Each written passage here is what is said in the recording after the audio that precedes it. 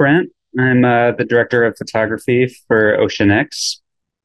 Uh, my responsibilities on board are filming anything that happens. So the science and uh, the operations and any of the cool megafauna that we see. Um, I film in the subs a lot and underwater and then the helicopter. Um, the skills that you need for this job.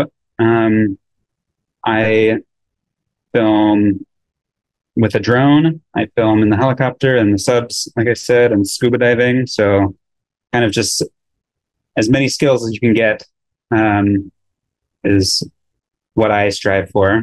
Um, and because you want to film it all, you know. Um, favorite thing about my job is that I get to do all the cool stuff. Like I get to film things that I never thought that I would film before and go places that I no other human has gone before. And I get to see things new every day. Um, and good luck to the first Lego League teams. Um, I hope you have a great experience.